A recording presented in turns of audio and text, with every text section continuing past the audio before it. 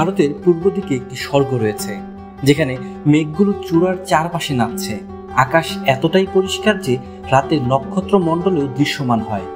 নদী পাথরের সাথে বকবক করে শব্দ তৈরি করছে। এটি সুন্দর এটি মনোমুগ্ধকর এটি রহস্যময় এটি সিকিম। আল্লাহ শুক্রিয়া আমরা এখন চোদ্দ হাজার পাঁচশো ফিট উপরে রয়েছি। এই যে আমার ভাই বোন দ্বারা যাদের সাথে আমরা আরও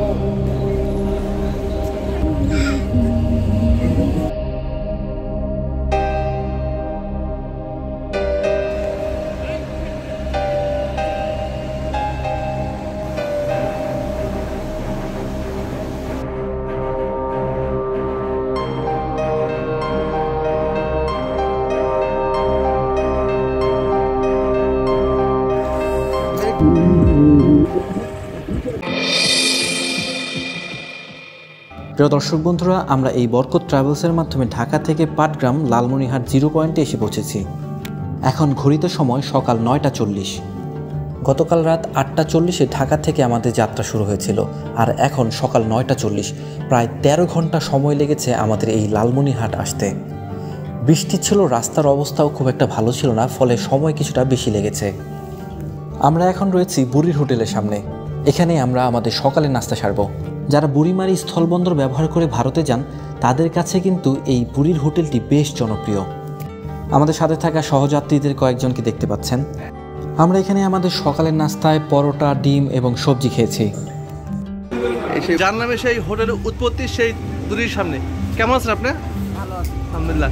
এই হোটেলের বয়স কত বুড়িমা? অষ্টআশি থেকে। আলহামদুলিল্লাহ আপনার খাবারের মান শুনছি আগে দেখছি টিভিতে ইউটিউবে দেখছি। আপনি কি এখন সেই মান ধরে রাখছেন? খাবারের মান? আচ্ছা। আশা করি যে সামনে এই মান ধরে রাখবেন। আচ্ছা ঠিক আছে। অসংখ্য ধন্যবাদ। দোয়া রাখবেন। আমরা এখন এগিয়ে যাচ্ছি বুড়িমারি স্থলবন্দরে আমাদের ইমিগ্রেশনের কাজ শেষ করতে। ইমিগ্রেশনের কাজ শেষ হওয়ার পর আমরা ভারতে প্রবেশ করব। চলে এলাম বুড়িমারি স্থলবন্দরে। এখানেই আমাদের ইমিগ্রেশনের কাজগুলো হবে। ইমিগ্রেশন চলাকালীন সময় কিন্তু মোবাইল বা ক্যামেরা দিয়ে ভিডিও করা সম্পূর্ণ নিষেধ। আমি যদিও কিছু ভিডিও করেছি, তবে আপনারা এই কাজটা না করার চেষ্টা করবেন। কোনোভাবে যদি আপনার মোবাইল বা ক্যামেরা দিয়ে তারা ভিডিও করতে দেখে ফেলে, সেক্ষেত্রে আপনার মোবাইল বা ক্যামেরাটি নিয়ে নিতে পারে এবং আপনাকে একটা বড় ধরনের ঝামেলায় পড়ে যেতে হতে পারে। এটি হচ্ছে বুড়িমারি ইমিগ্রেশন পুলিশ লালমনিহাটের কার্যালয়। এখানে আমাদের ইমিগ্রেশনের কাজগুলো হবে। এরপর আমরা আমাদের মূল যাত্রা শুরু করব। আমরা আমাদের ইমিগ্রেশনের কাজ কমপ্লিট করে এখন শিলিগুড়ির উদ্দেশ্যে রওনা দিয়েছি। শিলিগুড়ি বাস স্ট্যান্ড পর্যন্ত আসতে আমাদের প্রায় দুপুর বারোটা তিরিশ বেজে গেছে। আর এখন বারোটা চল্লিশ বাজে এবং আমরা ইতিমধ্যেই শিলিগুড়ি বাস স্ট্যান্ড পার হয়ে আসছি। যেগুলো দেখতে পাচ্ছেন, সেগুলো শিলিগুড়ি বাস স্ট্যান্ড পার হওয়ার পরের দৃশ্যগুলো দেখতে পাচ্ছেন। আসার পথে এই সেই তিস্তা নদী, যার কথা আপনি শুনেছেন। আল্লাহ কত স্রোত, কত বড় বাঁধ হ্যাঁ। বর্তমানে ইন্ডিয়া ভিসার জন্য অনলাইনে টাকা পেমেন্ট করার পর শিডিউল পেতেই প্রায় দুই মাস সময় লাগছে। এই দুই মাস পর যখন আপনি ডকুমেন্ট সাবমিট করবেন, এরপরে আবার এক থেকে দেড় মাস সময় লাগছে। অর্থাৎ বুঝতেই পারছেন ইন্ডিয়া ভ্রমণের জন্য এখন প্রায় চার মাস সময় হাতে নিয়ে প্ল্যান করতে হবে। অনলাইনে ভিসা অ্যাপ্লাই করার সময় খুবই সতর্ক হয়ে ভিসা অ্যাপ্লাই করতে হবে এবং ইলেকট্রিক বিলের যে অ্যাড্রেসটা রয়েছে, সেটাই আপনার অ্যাড্রেস হিসেবে দিতে হবে।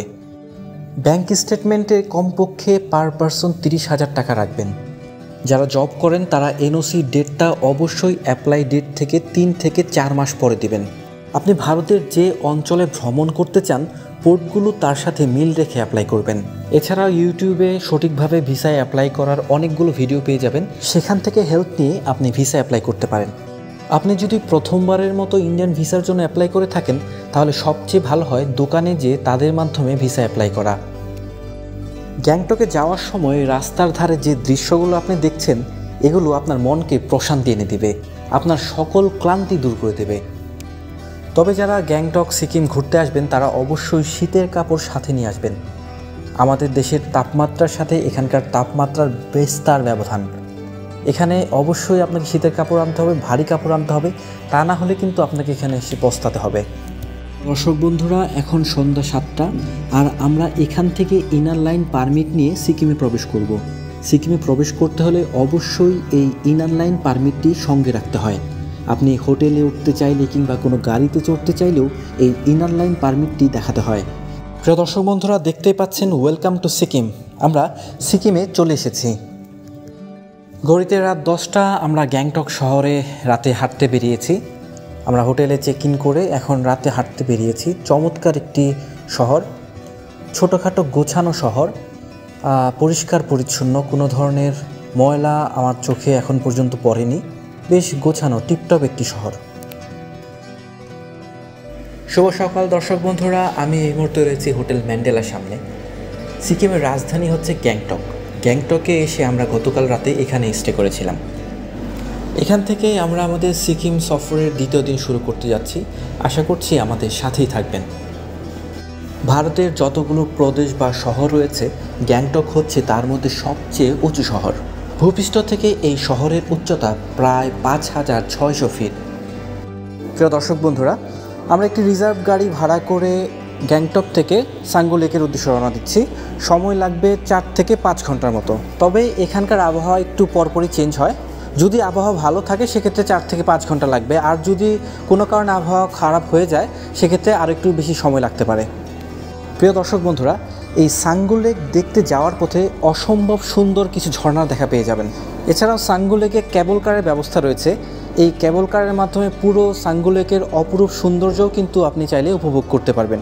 সেক্ষেত্রে আপনাকে খরচ করতে হবে তিনশো পঞ্চাশ টাকা। দর্শক বন্ধুরা, যেতে যেতে আরও কিছু ইনফরমেশন আপনাদের সাথে শেয়ার করে রাখি। আপনি সিকিম, গ্যাংটকে ঘুরতে আসলে কিন্তু একটা প্রবলেমে পড়বেন, সেটা হচ্ছে খাবার। এখানে এসে আমি কোনো মুসলিম হোটেল খুঁজে পাইনি।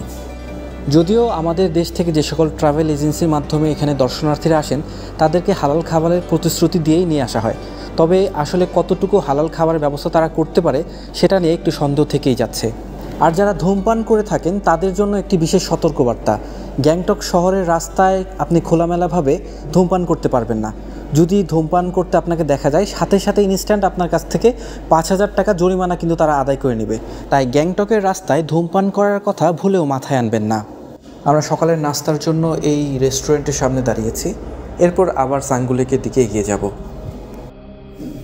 সাঙ্গুলেক যাওয়ার পথটি কিন্তু ভয়ঙ্কর রকমের সুন্দর। একদিকে যেমন ভয় কাজ করবে, তেমনি এর সৌন্দর্য দেখে আপনি মুগ্ধ হবেন। এত উঁচু আঁকা বাঁকা পথ, তার মধ্যে আবার মেঘে ঢাকা। কতটা ভয়ানক হতে পারে একটু চিন্তা করুন। কোনো কারণে যদি আপনার গাড়িটি একটু এদিক সেদিক হয়ে নিচের দিকে হাঁটা শুরু করে, আপনি কিন্তু কয়েক হাজার ফুট নিচে পড়ে যাবেন। এখানে ট্যুরিস্টদের জন্য অনেকগুলো গাড়ি দাঁড়ানো আছে। আমরা এরকম একটি গাড়ি ভাড়া করে এখন সাঙ্গুলেকের দিকে যাচ্ছি। সাঙ্গুলেকে যাওয়ার পথে প্রথম ঝর্ণাটি আমরা সামনে দেখতে পাচ্ছি। ঝর্ণাটির সামনে আমরা দাঁড়াতে পারিনি কারণ এই ঝর্ণা দেখার জন্য আমাদের পারমিশন ছিল না। উইদাউট পারমিশন এই সিকিম শহরে আপনি কোথাও দাঁড়াতে পারবেন না। সাঙ্কুলেক যাওয়ার পথে আমাদেরকে আরও একটি চেকিংয়ের মাধ্যমে যেতে হচ্ছে। প্রিয় দর্শক, বন্ধুরা আপনি এরকম মেঘের ভিতর দিয়ে কখনো গিয়েছেন? দেখুন, পুরো রাস্তাটাই কিন্তু মেঘে ঢাকা। অবিরাম বৃষ্টি ঝরছে, পাশাপাশি মেঘও কিন্তু আছে। প্রিয় দর্শক বন্ধুরা সাঙ্গুলেক যাওয়ার পথে আরও একটি চমৎকার দৃশ্যের মুখোমুখি আমরা। আমরা এই মুহূর্তে রয়েছি বাচ্চা ফলসের সামনে। দেখতে পাচ্ছেন অপরূপ সুন্দর এই বাচ্চা ফলস।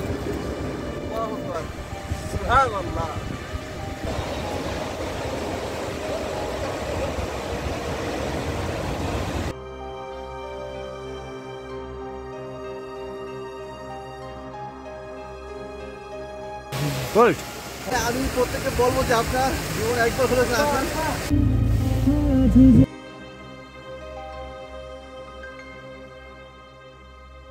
আমাদের দেশের বান্দরবনে একটি বগা লেক নামে লেক আছে সেটিও কিন্তু পাহাড়ের উপর। চমৎকার এই বগা লেক দেখার সৌভাগ্য আমার হয়েছিল কিন্তু এই সাঙ্গল লেকের সাথে ওই বগা লেকের তুলনা কোনোভাবেই হয় না। একদিকে যেমন পাহাড় মেঘ এবং লেক সব মিলেমিশে একাকার হয়ে আছে। আমরা সাঙ্গু লেকের উপরে থাকা কেবল কারে চড়েছি, তবে বাইরে প্রচণ্ড মেঘ কিছুই দেখা যাচ্ছে না। আমরা এখন আছি চোদ্দ হাজার পাঁচশো ফিট উপরে। আল্লাহ শুক্রিয়া, আমরা এখন চোদ্দ হাজার পাঁচশো ফিট উপরে রয়েছি। মোবাইলে ধারণ করা খুব কঠিন, কারণ বৃষ্টি পড়ছে, এখানে প্রচুর পরিমাণে বৃষ্টি ঝিরিঝিরি পড়- পড়ছে। আসলে এখানে খুব মুশকিল, নিচে ভিজে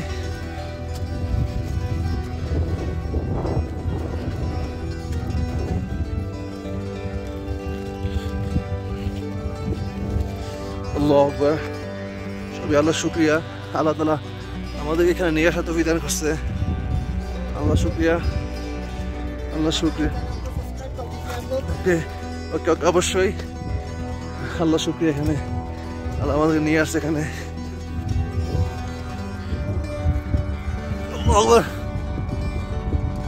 দেখতে পাচ্ছেন এখানে একটা মন্দির আছে। এটি সর্বোচ্চ পয়েন্ট এই যে আমার ভাই বোনেরা যাদের সাথে এসেছি তাদেরকে ধন্যবাদ তাদের সাপোর্টটা পেলে হয়তো বা আসতে পারতাম না। এই যে আমাদের ভাই ব্রাদাররা কিস আর আমাদের হোস্ট যাদের যাদের সহায়তা এসেছি আল্লাহ আকবার আল্লাহকে ধন্যবাদ। আল্লাহ আকবার এখানে আমি আসতে পেরেছি। আল্লাহ চোদ্দ হাজার পাঁচশো ফিট উপরে আমরা এখন। চমৎকার দৃশ্য। আগে কখনো এখানে আসা হয়নি। এই যে আমার ভাই রয়েছে এখানে। প্রিয় দর্শক বন্ধুরা, এই যে পতাকাগুলো দেখতে পাচ্ছেন, এগুলো কিন্তু একটা বিশেষ ধরনের পতাকা। এখানে যখন কোনো স্থানীয় মারা যায়, তখন তার আত্মার শান্তির জন্য একশো আটটি করে পতাকা তার আত্মীয়রা এখানে বেঁধে দিয়ে যান। তারা বিশ্বাস করেন, এই পতাকাগুলোর মাধ্যমে মৃত ব্যক্তির আত্মার শান্তি মিলে। এই যে দেখুন, এখানেও অনেকগুলো পতাকা লাগানো আছে। ভ্রমণের তৃতীয় দিনে আমরা গ্যাংটক থেকে লাচুং যাচ্ছি। গ্যাংটক থেকে লাচুং যাওয়ার পথে অনেকগুলো সুন্দর সুন্দর ঝর্ণা পড়বে। আপনাদেরকে সেগুলো দেখানোর চেষ্টা করব। স্পটে থামবো নর্থ সিকিম অর্থাৎ ম্যানগান নর্থ সিকিম নাম আমরা এখন রেস্টুরেন্টে খাব। ঝর্ণা পড়ছে।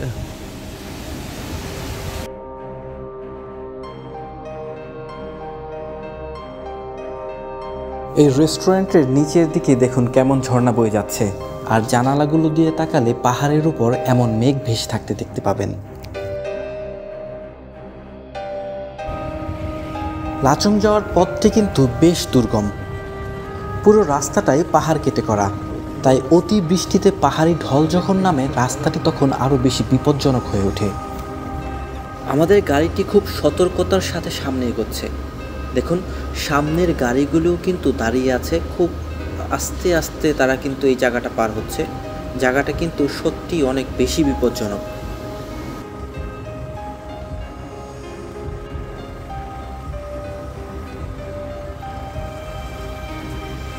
লাচুং যাওয়ার পথে আরও একটি চমৎকার দৃশ্য দেখতে পাচ্ছি। দেখুন, রাস্তার উপর দিয়ে ঝর্ণা চলে গেছে। কিছুটা বিপজ্জনক, কিন্তু চোখের জন্য প্রশান্তি এনে দিচ্ছে।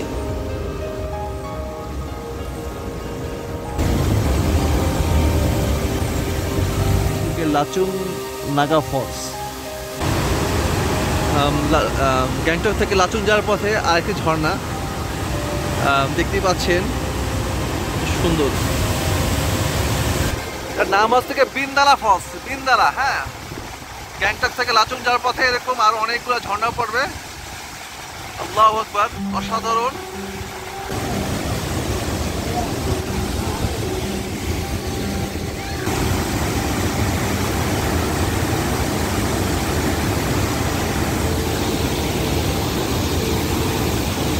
পাহাড় থেকে দুধের মতো সাদা ঝর্ণা বয়ে যাচ্ছে। এই অপরূপ দৃশ্য চোখে না দেখলে বিশ্বাস করতে পারবেন না। এখানে সম্প্রতি একটি ঘটনা ঘটেছে, সেটি আপনাদের সাথে শেয়ার করি। কিছুদিন আগে একটা লোক এই ঝর্ণাতে পড়ে গিয়েছিল। এই ঝর্ণার স্রোত এতই বেশি যে শেষ পর্যন্ত তার লাশটিও খুঁজে পাওয়া যায়নি। এই জন্য এখানে যে ট্যুরিস্টরা আসেন, তাদেরকে খুব সতর্কভাবে এখানে ভ্রমণ করতে দেওয়া হয়। চাইলেও কিন্তু খুব কাছে যাওয়া যায় না। আমরা কিন্তু গাড়ি নিয়ে অনেকক্ষণ থেমে আছি কারণ সামনেই কিন্তু পাহাড় ধস হয়েছে। ফলে আমাদের যাত্রা কিছুটা সময়ের জন্য বিলম্বিত হচ্ছে। রাস্তা পরিষ্কার করার পর আবার আমরা সামনে এগোতে পারব। লাচুং যাওয়ার সময় প্রায় প্রায়ই কিন্তু এই ধরনের ঘটনা ঘটে। লাচং যেতে যেতে ঝর্ণা, পাহাড়, মেঘ সবই দেখতে পাবেন। দেখুন, আরও একটি চমৎকার ঝর্ণা।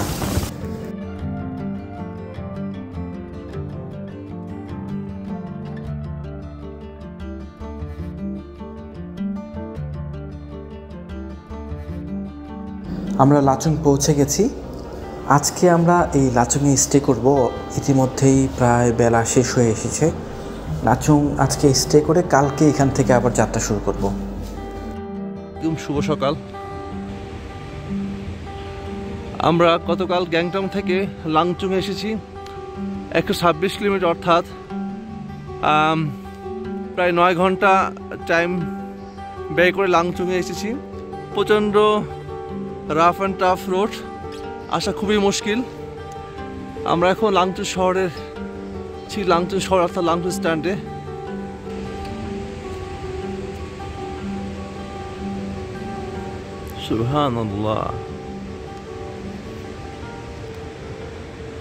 কত সুন্দর, আল্লাহ আকবার। দেখলে মন ভরে যায়। আরেকটা কথা বলে রাখি, এখানে আসলে ইন্টারনেট পাওয়া খুবই মুশকিল। বিভিন্ন রাজ্যে বিভিন্ন সিম ইউজ হয়। আমি কিনেছিলাম এয়ারটেল যেটা নেটওয়ার্ক এখন এই মুহূর্তে নাই। আমি গতকালকে কিনেছিলাম, অর্থাৎ প্রায় চব্বিশ ঘণ্টা পার হয়ে গিয়েছে। এখন পর্যন্ত এয়ারটেলের নেটওয়ার্ক আমি পাইনি। আমরা এখন লাঞ্চুং থেকে ইয়ান্তাই ভ্যালি, অর্থাৎ আরও প্রায় ছাব্বিশ কিলোমিটার ভিতরে যাব আরও দুর্গম অঞ্চলে। আমাদের জার্নি শুরু হলে মাত্র।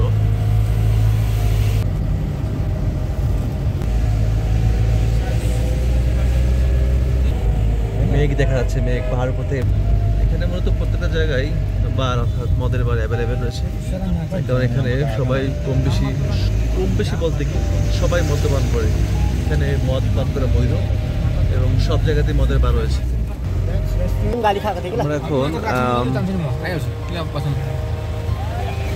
ইয়ান্তাই ভেলের জন্য চেকপোস্ট হচ্ছে চেকপোস্টে আমরা এখানে চেকপোস্টের জন্য আমাদের গাইড হচ্ছে সনম যাচ্ছে।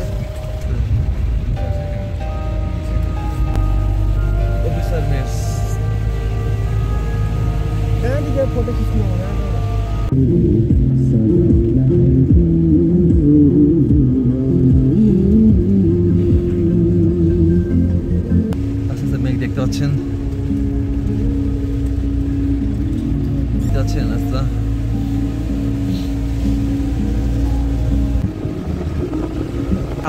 দুর্ঘটনা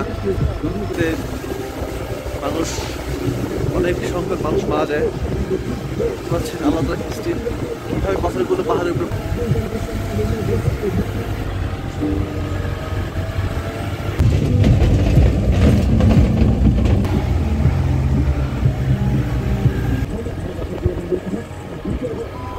আসসালামু আলাইকুম। আমরা অবশেষে জিরো পয়েন্ট আসলাম। এইটাই সে জিরো পয়েন্ট আপনি দেখতে পাচ্ছেন? সে জিরো পয়েন্ট আমরা এখন ষোলো হাজার ফিট উপরে রয়েছি, ষোলো হাজার ফিট এটা আসলে চিন্তার বাইরে, আমাদের জন্য। প্রচণ্ড ঠান্ডা, কুয়াশা পড়তেছে। এখানে সার্ভাইভ করা খুবই মুশকিল। তারপর এখানে মানুষজন সার্ভাইভ করছে বিভিন্নভাবে। এখানে বিভিন্ন প্রাণী আছে, ইয়ক। ইয়ক রেখেছে যারা দেখতে গরুর মতো, কিন্তু আসলে গরু না। জিরো পয়েন্টের সাতাশ থেকে চীন সীমান্ত, অর্থাৎ চীনের বর্ডার চীনের বর্ডার জিরো সীমান্তে। পয়েন্ট হাই বলেন আপু সবাইকে হাই বলেন। এই যে সবাই আমার ভাইয়ের আসছে। এই যে আমার আরেক দুই ভাই হাই বলেন ভাইয়া। শীতে আমার কাঁপছি কাঁপছি। আল্লাহ একবার শীত কাঁপছি। আল্লাহ কি সুন্দর নিয়ামত। এটা আসলে আমি আমি আমি আসলে ভিডিও তো বলে শেষ করতে পারব না। যা বলে তার চেয়েও লক্ষ গুণ সুন্দর। আল্লাহ নিয়ামত। আমরা এখন আছি ষোলো হাজার ফিট উপরে। আমরা চিন্তার বাইরে। আসলে আল্লাহ নিয়ামতকে বলে শেষ করা যাবে না। দু হাজার ফিট উপরে। দেখা যাচ্ছে নাকি welcome to zero point Lachung north Sikkim you are here at sixteen thousand feet আল্লাহ নিয়ামত দেখার জন্য। এটা আসলে কত বড় আল্লাহ নিয়ামত? যারা আসবেন তাদেরকে বলব, প্রচণ্ড ঠান্ডা। ভারী জ্যাকেট মোটর জ্যাকেট নিয়ে আসবেন হ্যান্ড গ্লোভস নিয়ে আসবেন, কান টুপি নিয়ে আসবেন হ্যাট নিয়ে আসবেন জিন্স প্যান্ট বা মোটা কাপড় নিয়ে আসবেন। আর আলহামদুলিল্লাহ আল্লাহ শুক্রিয়া। যে আমি আজকে এই পর্যন্ত আসতে পারছি। প্রচণ্ড সময় থেকে দম ছাড়তে কষ্ট হচ্ছে। হাত পা শুকিয়ে যাচ্ছে মানে বরফে। ইয়ে হচ্ছে আমার যে হোস্ট সে ভিডিও করছে। আমি প্রচুর ঠান্ডা জমে যাচ্ছি। আমার খুব বেশি মনে পড়ছে আমার ছেলেকে। আমার ভাগ্নিকে জাওয়াত এবং তাওয়াসুলকে সবাই দোয়া করবেন যেন আল্লাহ তালা আবার আমাদেরকে সহি সালামতে নিয়ে যায়। আর একটু দেখে রাখেন যে কি এটা কি আল্লাহ তার নিয়ামত। হাজার হাজার ফিট উপরে এখন। আমরা এখানে ষোলো হাজার ফিট যদি ওইখানে উঠি যদি আমরা ওইখানে উঠি তাহলে সেই সেই- সেটা হবে বিশ হাজার ফিট। বিশ হাজার বা টোয়েন্টি থাউজেন্ড ফিট লাচুং থেকে আমরা যে জিরো পয়েন্ট গিয়েছিলাম মাঝখানে আমরা ইয়ানতিং ভ্যালিটা স্কিপ করে গিয়েছিলাম, কারণ জিরো পয়েন্টে আসলে পরে গেলে বিভিন্ন রকমের সমস্যা অথবা আমাদের বাধার সম্মুখীন অথবা আর্মিদের পারমিশন নাও পেতে পারি। সেই কারণে আমরা জিরো পয়েন্ট আগে যে, পরে আমরা আসার পথে আমরা ইয়ানতিং ভ্যালিটা ভ্রমণ করার জন্য আমরা চিন্তা করছি এবং আমরা সেই সেইটাই করছি। এখন প্রচুর বৃষ্টি পড়ছে, তারপর যা শুধু ভিডিও শ্যুট করার জন্য আমি হাঁটছি।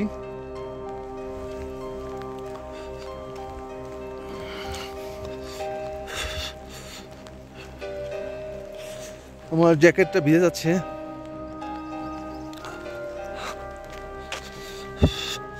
এখানে আসলে ইয়ানতাং ভ্যালি আর জিরো পয়েন্ট এত সুন্দর, যে না আসলে বোঝা মুশকিল। আমরা জিরো পয়েন্টে দেখেছিলাম ষোলো হাজার ফিট, এখন আমি রয়েছি বারো হাজার ফিট, অর্থাৎ we are here at twelve thousand feet দেখুন, এই যে ওয়েলকাম টু ইয়ানতেন ভ্যালি। মেঘের সাথে পাহাড় ধাক্কা আছে। এইদিকে দেখুন একবার। মেঘ দেখা যাচ্ছে পাথরের আগে জিরো পয়েন্ট ছিল পাথর এবং শুধু ঝর্ণা। এটা শুধু গাছ এবং গাছের উপরে শুধু গাছ, পাহাড়ের উপরে মেঘের মেঘের মেঘ দেখা যাচ্ছে। কত সুন্দর। প্রিয় দর্শক বন্ধুরা ইয়ামথাং ভ্যালি এবং জিরো পয়েন্ট ঘুরে আমাদের সিকিম ট্যুর এবারের মতো শেষ করছি। এখান থেকে আমরা গ্যাংটক ফিরে যাব এবং গ্যাংটক থেকে দার্জিলিংয়ে যাব। ঢাকা থেকে বুড়িমারি স্থলবন্দর হয়ে এই সিকিম ভ্রমণে আমাদের কত টাকা খরচ হয়েছে, তা বিস্তারিত এই ভিডিও ডেসক্রিপশন বক্সে আমি দিয়ে দিচ্ছি। সেখান থেকে ধারণা নিয়ে আপনি আপনার ট্যুরের বাজেট প্ল্যান করতে পারেন। আমরা সিকিমে যে সময়টাতে এসেছি, এই সময়টা মূলত সিকিমের অফ সিজন সেপ্টেম্বর অক্টোবর মাস পর্যন্ত সিকিমে সবুজের দেখা পাবেন। এরপর নভেম্বর ডিসেম্বর এমনকি জানুয়ারি মাসে যদি আপনি এখানে ঘুরতে আসেন, অনেক বেশি ঠান্ডা এবং বরফ দেখতে পাবেন। ভিডিওটি শেষ করার আগে আরও গুরুত্বপূর্ণ কিছু টিপস আপনাদের সাথে শেয়ার করছি। সিকিম দার্জিলিংয়ে ভ্রমণের সময় অনেক জায়গায় চেকিং হয়, সেখানে পাসপোর্ট, ভিসা, ছবি এবং কোভিডের সার্টিফিকেট চায় এজন্য প্রত্যেকটির নয়টি করে কপি আপনার সাথে রাখবেন। এখানে ঘুরতে এলে বেশিরভাগ সময় আপনার গাড়িতে কাটবে, তাই সাথে একটি পাওয়ার ব্যাংক রাখার চেষ্টা করবেন। মেডিসিন রাখবেন, পানির বোতল রাখবেন শীতের ভারী কাপড় আনবেন এবং একটি স্পোর্টস শো সাথে রাখার চেষ্টা করবেন। আমাদের সিকিম ভ্রমণ আপনার কাছে কেমন লেগেছে অবশ্যই কমেন্টস করে জানাতে ভুলবেন না। ভালো লেগে থাকলে লাইক দিবেন, বন্ধুদের সাথে শেয়ার করবেন। আমাদের চ্যানেলে নতুন হয়ে থাকলে আমাদের চ্যানেলটি সাবস্ক্রাইব করে যেতেও ভুলবেন না। পরবর্তী ভিডিও দেখার আমন্ত্রণ জানিয়ে আজ এখানেই বিদায় নিচ্ছি। আল্লাহ হাফেজ।